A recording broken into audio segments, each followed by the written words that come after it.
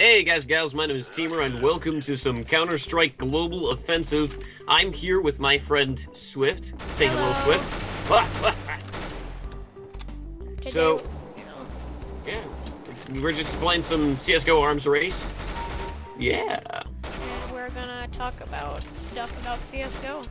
yeah, because that's what you do when you're playing CS:GO. Uh-huh. You get, and poor LDLC when there is a counter to that boost, but poor LDLC did not know about that because the information was not available. Yeah, That's you got theory. a point there. That's for sure. Uh, I guess maybe if like everyone else knew about the boost, it would be more fair Mm-hmm. and ways to counter it. Cause CS:GO like competitive pro matches are all made up around tactics and how to counter other tactics. Mm-hmm. And um, when I was talking about this earlier, I forgot to mention that I was watching The War Owl. He's one of my favorite YouTubers, and War Owl is awesome. Yep, he's great. And um, when I was talking about counters, he found a counter which is actually one of the slides in that particular map, and it actually serves as a really good function for an offer to pick off the person, uh, the uh, person using that particular boost. So, all uh, all ends there, I guess. Yeah. I haven't seen that video yet, but I, I think it's a good point. Ways to Mm. counter that boost. So it will be, yeah.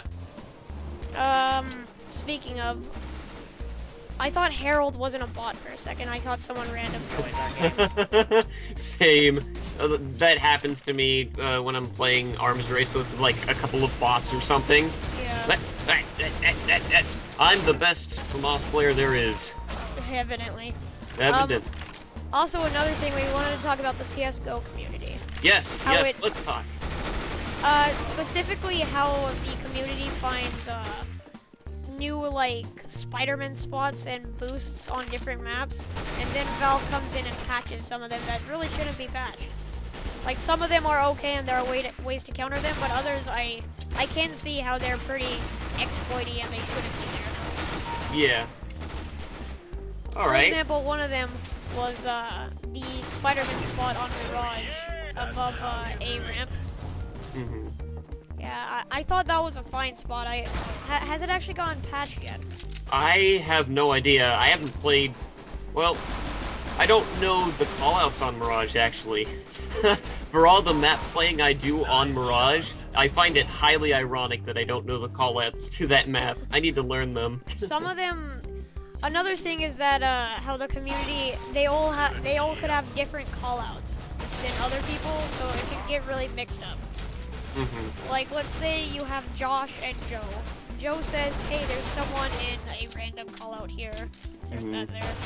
And uh, the other Josh, let's say, doesn't actually know what that callout is because they just call it that themselves, hmm or a small part of the community Yeah. actually says it that way. Yeah, I've I've actually found I played a map on or a a uh, match on Nuke, and I accidentally paused the recording uh, at some point, oh no! but I just Uh-oh. unpaused it, so it's fine. All right, We were talking about callouts. I don't remember when I paused it, but Mm. yeah. All right. Anyway, so um, we were talking about callouts and everything, and uh, how some people, you know, have different callouts than other people. yeah, For example, Mm. um, like, for example, I used to call uh, under the ladder in Nuke to up to heaven.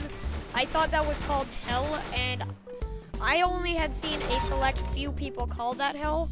So. I uh, actually didn't think that that was a very popular call out, but Mhm. then I realized most people actually call it that.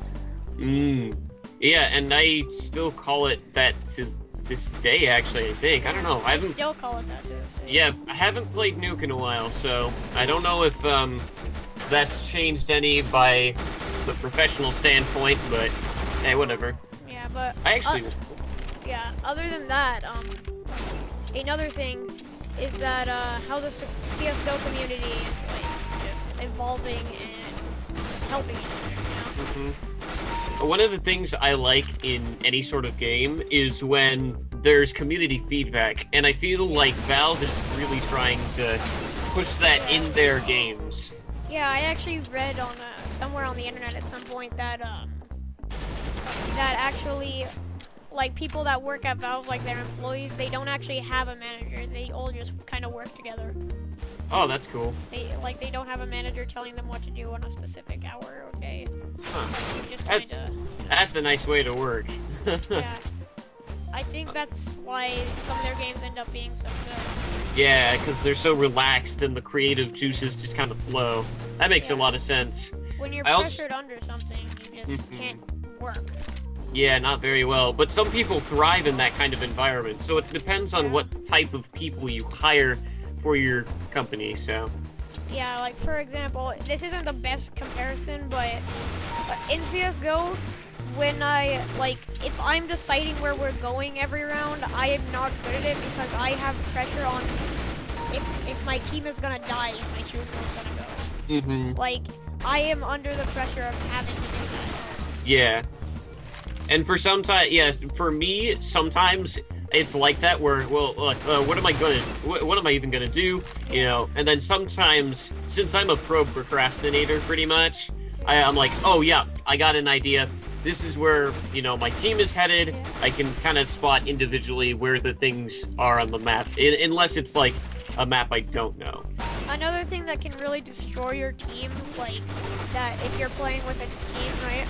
A, a thing that can really destroy your team and everything is miscommunication. Oh yeah, Call outs miscommunication. and anything. Just And then- Miscommunication in any way. Yeah, definitely. I definitely agree with that. I've had some bad, you know, miscommunication in my previous matches. So Yeah, it's it's like one of the things that can really ruin your team if it happens. mm. It'll get you killed and everything. yeah, and then Yeah, continue. go on. Oh, uh, yeah, and then your team will start killing you if they're a bunch of bricks. I've had that happen before. Same So. here.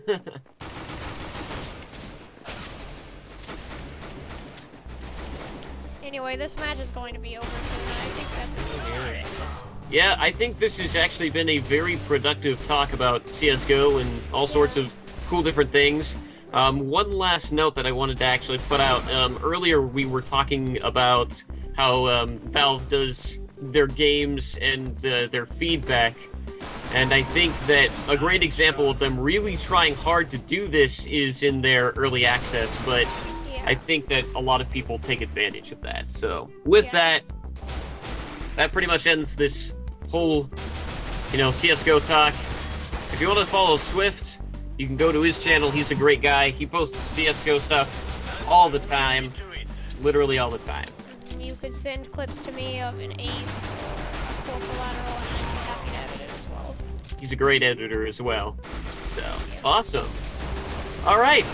Well, my name is Tiemur, and My what's name your name? Swift. And we will I see you. My name is Swift. What, what, really? What, what do you think sure your name would be? uh, Oh, no. sure. Oh no! The oh, wait. knife, knife kill. I gotta get this knife kill to end it. If I don't get the the knife video kill, they're properly. gonna they're gonna be wondering like, did I get the kill or not? Yeah, you can't leave them on a cliffhanger. Oh, Oh, nice job. My name is Tiemur, My and this has been a great CSGO little podcast thing that we have done. If you'd like to see more, you can go in the comment section below, or, you know, just do whatever you want, share it on Facebook, and I will see you, and Swift will see you in a future video. Ciao. See ya. Hello. Hey guys and gals, my name is Tiemur, and welcome to some Counter Strike Global Offensive. Uh, today, my CSGO crashed.